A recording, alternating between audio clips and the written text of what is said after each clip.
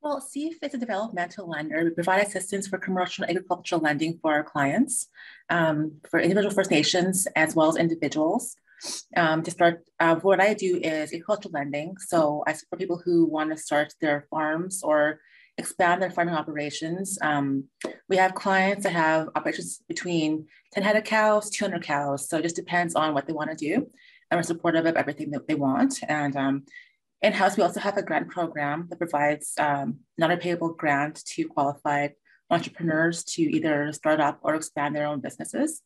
And it's a, it's a great um, full encompassing uh, program we have here with, with lending and the, the grant program combined.